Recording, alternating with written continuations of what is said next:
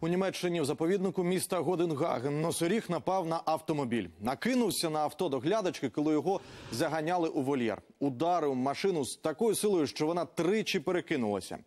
На допомогу жінці поквапилися колеги. Коли звір угамувався, працівниця вилізла з автівки через вікно. Вона відбулася з трусом мозку та саннами. У заповіднику кажуть, носорога перевезли півтора роки тому. Однак тварина досі не призвичаїлася до нового місця, тому й поводиться агресивно.